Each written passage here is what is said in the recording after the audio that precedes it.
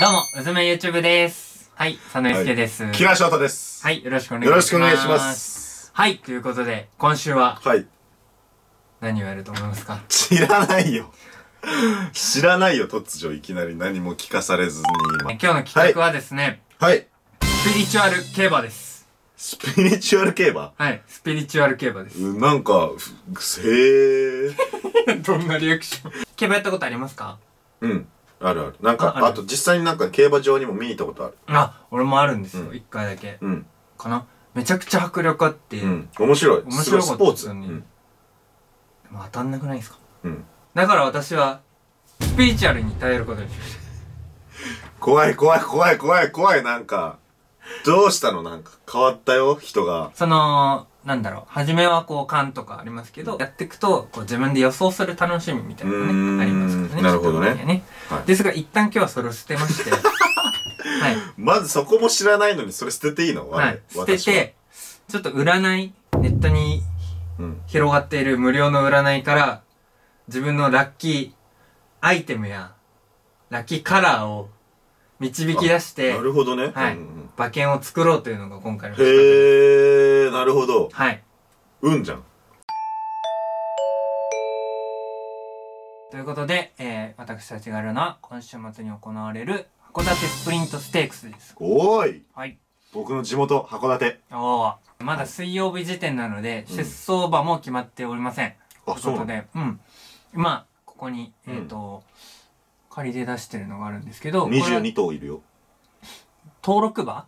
まあ、登録してるのがへー22頭いて、最終的にこの中から、まあ、何頭立てかっていうのはあれですけど、、えじゃあ予想したのが出ない可能性もあるまあ、ありますけど、そんなことはないです。のあ、そうそんなことはないっていうのは、そんな出ない馬を選ぶことはないです。私たちは。導かれるか はいはい。ら。はい。はい。占いの力を使って、はいえー馬券を作っていきたいと思います。はい。じゃあ、早速、何占いをすればいいの？えー無料占いで、えー広大なネットの世界から探してきてください。なん、な、何がいいんだ？メニュー、恋愛、出会い、結婚、人生。人生じゃないですか、やっぱり。人生か。はい。競馬とは人生。もうなんかす、これ大丈夫かな？なんかすすぐお金取られないかな？いや、無料って書いてあったら無料なんじゃないか。ほら、鑑定怖くないこれなんか。怖くないよ。なんか、これの情報すっぱ抜かれないこれ。パンあニックネームでいいいんだ。ニックネームでいいから、ほら。え、怖いな、これなんか、すごい。怖いって言わないで。なんか、こういうボタン怪しくない？なんか。やめて。ニックネームは何にしよニックネームはでも、なんでもいいんじゃない？ちょっと。う。なんでもいいんだ。名前じゃないとダメとかないの？別に。カタカナキラとかでいいんじゃない？じゃあ。俺あれにします。あの、中学校呼ばれてた、えー、あだ名にしてななんて呼ばれてたの？佐之助です。初めて知った。はい、じゃあ鑑定するボタンを押します。これ架空、架空請求とかないよね？ないと思う。うん、だって鑑定する。無料ってそれは書いてある責任取ってよ、ちゃんと。それは、今やらされてるからね、完全に俺は。うん。やってみるか。はい。俺もやってみたいと思います。来た来た。ここから、すごいかも、なんかちゃんとしてるかも。馬券を。え？あ、びっくりした。なんかバグった、ちょっと今。うん、でででででんって上に。あ、なるほどね。うん。ここから先は別メニューですってのがある。なるほど。詳しいやつ。あ、そういう納ね。得できました。いき。ます。じゃあ僕の占い結果見ていいですか？はい。キラさんは、誰に対しても平等な態度が愛され、周囲からの熱い信頼を受ける資質を備えています。はい。ただ、期待に応えようとするあまり、ご自身の意志を後回しにしがちかもしれません。はい。幸多き人生のために、今からあなただけの特別な才能と今後巡る幸運について教えします。おう。何ですか？それが馬券の種です。あんまそういう不純な目的で聞くのよろしくない気がするんだよね。あなたに備わった能力、それは全身力。うん。いかにもこの競馬にふさわしい前に進む力はい。向上心強く目標に向かって突き進むはい。でなんて読むの？ちょっと読めない。大事丸って書いてるんだけど白にうん。白にこのひ白白うん。白っていう字にあとは火に光うんうん。光の上に火なんか火が乗ってるうん。白発光正義感が強く磨けば光る可能性の持ち主ということらしいですなるほどで発行にご注目ください。全身力高い理想能力は無限。目標を高くすればするほど能力が開花していきますが中でもリーバリーダーシップはあなたに与えられた大きな才能の一つです。んどこを見ればいいの？なんかそんななんかさあない？よシンプルなラッキーカラーとか。ないですか？何た何を身につけてみたいな。発光だって。白白白光火白光火。白光火っていう馬ないないですか？いるか。白光火。いるかそんなん。いない。いないね。まだ。じゃあキャプテンドレイクにしようよ。それのなんでですか？リーダーシップ。おおこれだ！すごい！怖いよ。導かれてる。怖いってすごく怖いって。じゃキャプテンドレイクじゃなあそれじゃないですかね。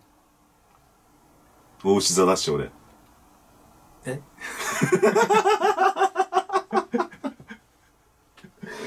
大牛座だし。関係あったっけ？星さんってじゃあ俺ね。うん。佐之助さんはロマン主義でありつつも目先は現実や裏付けを大事にします。うん。夢や希望を見ているのですが根拠のない自信や快楽で行動に出ることはありません。先にしっかり情報を集めて分析しという感じですね。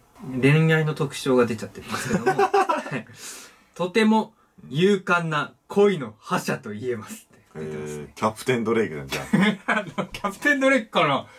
待って他に恋の覇者ですよね。あ覇者といえばキャプテンでしラブとかついてるのがょないね。ないか。なんか他なんかないの？キーワード。恋愛においては。恋愛ばっかりだな。あこれはいいんじゃないですか？うん。もうすぐ運勢がガラッと変わる日が迫っています。はい。その具体的な日付は、2022年、今年ですね。うん。10月10日。どう ?10 日とかいる？ないです。ないか。ライトオン Q だったらいるけど。あ10はないねあ、10はないか。俺はまだ導かれていってなんかのないのキーワード俺で言うあの白に光の火みたいな、ちょっと無料で教えてくれない？運命を知るって何？えちょっと、うん、運の、運をちょっと一回置いときましょう。運命は知れないんで、まだね。シゲルピンクルビーは？おなんか恋愛の覇者なんでしょう。ん、ピンクルビー。ピンクなルビーじゃない？シゲルじゃんシゲル。顔は。しげるなのシゲルっぽさないちょっと。ああ、なるほどね。うん。しげるだわ。俺はしげるで行くわ。導かれてる？導かれてるわ、うん。これは。そうしようよじゃあ。恋愛の覇者。うん。そして俺はね、見過ごせなかったのが、うん。運命が変わる日が2022年10月10日っていうことなんですよ。ジュージュ焼肉。焼肉？それはないか。一部から。だから10だと思うあ俺は。なるほどねはい。ちょっと出走版が決まってないんでわかりませんが。でもこのさ人気、うんあ人気順だとこれは人あ気順だね。なるほどねあれじゃないんだあ、人気順も10は出るもんね。うんだから10月10日ってことは、馬番が10番でうんのと、10番人気の馬両方来るってことですね。じゃあ3連単いけるじゃんと、シゲルピンクルビーで。そうこれだということで、えじゃあ俺は何？キャプテンドレイクをなんか単勝みたいな書き方書き方すればいいの？そうだね。はいはいわきっとそれが導かれる。ちょっとここが今、それが合ってないけど、同じ導かれてるはずなんで。でも俺まだ馬名それぞれだからねそう、馬名出てない、その10番の枠と、うん10番人気の馬も買うから俺はう。んうんうん多分そこが、あれなんでしょうね。キャプテンドレイクなんでしょうね。きっと。ここが、なんか、すれ違うことないから。なるほどね。同じく導かれてるからね。うん。